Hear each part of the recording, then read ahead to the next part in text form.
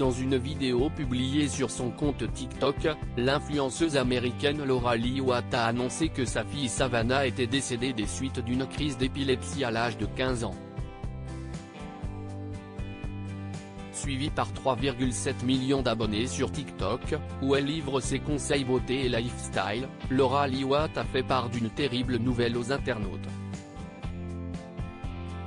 Dans une vidéo publiée mardi 14 février, la jeune femme a annoncé que sa fille aînée Savannah était décédée à l'âge de 15 ans. Je ne peux pas croire que je suis en train de faire cette vidéo, mais je vais faire de mon mieux pour y arriver. Comme vous le savez, j'ai trois enfants. Et mon aîné, Savannah, qui a 15 ans, est épileptique. Vous l'avez déjà vu dans mes vidéos et vous m'avez déjà entendu raconter des anecdotes à son sujet.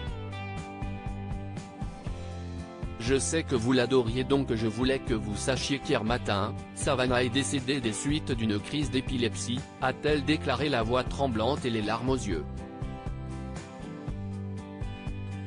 Je ne sais pas comment je vais pouvoir vivre sans elle confrontée à la pire épreuve qu'une mère de famille puisse traverser, Laura Liwat a ensuite éclaté en sanglots.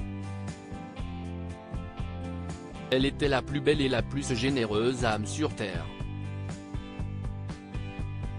Je ne sais pas comment je vais pouvoir vivre sans elle, mon bébé, a-t-elle poursuivi, complètement dévastée. Il y a deux ans, la petite coteuse avait révélé dans une vidéo que sa fille Savannah souffrait du syndrome de Lennox-Gastaut, une forme sévère d'épilepsie qui touche principalement les enfants et adolescents. L'influenceuse de 33 ans expliquait alors que sa fille pouvait avoir plusieurs crises d'épilepsie par jour et que sa maladie s'était malheureusement aggravée avec le temps. Les internautes bouleversés par son témoignage visionné plus de 24 millions de fois, la vidéo de Laura Liwat a bouleversé les internautes, qui sont très nombreux à lui adresser des messages de soutien. La douleur d'une maman face à la perte de son enfant est tellement tragique. Mes condoléances. Je suis navré de votre perte, je suis tellement désolé. Vous et votre famille serez dans mes prières. Votre fille était si belle et si gentille, toutes mes condoléances. Je ne peux imaginer votre peine. Je vous envoie plein d'amour et de courage, peut-on lire en commentaire.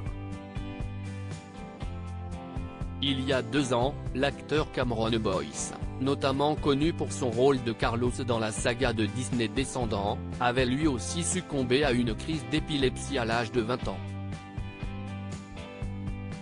Arrobase Lauralie Watt Original Sound, Lauralie à lire aussi le TikToker Star Wafley69, connu pour ses vidéos de dégustation sur internet, est mort à l'âge de 33 ans.